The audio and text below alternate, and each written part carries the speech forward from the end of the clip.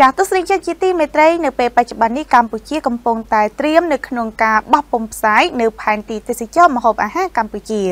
ដោយនៅក្នុងផែនទីនេះគឺមាននិយាយអំពីម្ហូបអាហារនៅតាមតំបន់និងនៅតាមបណ្ដាខេត្តផ្សេងផ្សេងនៅក្នុងប្រទេសកម្ពុជាផងដែរ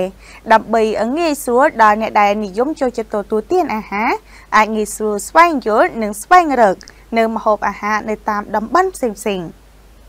កម្ពុជាកំពុងរៀបចំនិងត្រៀមបោះពុម្ពផ្សាយផែនទីទេសចរម្ហូបអាហារកម្ពុជាដែលមានបញ្ជាក់ពីម្ហូបអាហារនៅតាមខេត្តនិងតំបន់សម្រាប់បង្កើនការតេទៀងភ្ញៀវទេសចរដែលនិយមចូលចិត្តទទួលទានម្ហូបអាហារនិងឆ្វេងយល់ឬស្វែងយល់ពីម្ហូបអាហារប្រចាំតំបន់ក្នុងសានិស័តស្ដីពីសមិទ្ធផលនិងវឌ្ឍនភាពការងាររយៈពេល5ឆ្នាំរបស់ក្រសួងទេសចរ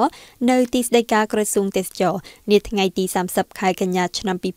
2022លោកអង្គសវណ្ណរតអគ្គនាយករងនៃអគ្គនាយកដ្ឋានអភិវឌ្ឍទេសចរនិងសហប្រតិបត្តិការអន្តរជាតិបានលើកឡើងថានៅពេលឆាប់ៗខាងមុខនេះក្រសួងទេសចរនឹងបោះពុម្ពផ្សាយផែនទីទេសចរម្ហូបអាហារកម្ពុជាសម្រាប់បង្កើនភាពទាក់ទាញភ្ញៀវទេសចរបន្ថែមលោកអគ្គនាយករងថ្លែងថានៅពេលឆាប់ៗខាងមុខនេះយើងនឹងបោះពុម្ពផ្សាយជាផែនទីទេសចរម្ហូបអាហារកម្ពុជាថានៅស្រុកខ្មែរខេត្តណាខ្លះមានសក្តានុពលម្ហូបអាហារឧទាហរណ៍ថានៅបាត់ដំបង មានមីកូឡាជាដើមលោកបានបន្តថាបច្ចុប្បន្នក្រសួងបានរៀបចំជាសុសបណ្ដាបណ្ដាហើយក្នុងពេលឆាប់ឆាប់ខាងមុខនឹងបោះពុំជាខិត្តប័ណ្ណកូនសៀវភៅឬ Pocket Guidebook សម្រាប់ចែកជូនដល់ភ្ញៀវទេសចរទាំងអស់នៅតាមមណ្ឌលព័ត៌មានទេសចរគ្រប់រាជធានីខេត្តបើតាមលោកអង្គសវណ្ណរតផែនទីទេសចរមហូបអាហារនោះគឺមានរំលេចអំពីរូបភាពបញ្ជាក់អំពីឈ្មោះមហូបអាហារប្រវត្តិរបៀបធ្វើដើម្បីតាក់ទាញភ្ញៀវឲ្យងាយស្រួលក្នុងការឆ្វេងយល់ពីព្រោះជួនកាលភ្ញៀវទេសចរបានភ្លក់រសជាតិហើយបើបានដឹងប្រវត្តិទៀតគឺពួកគេកាន់តែជក់ចិត្ត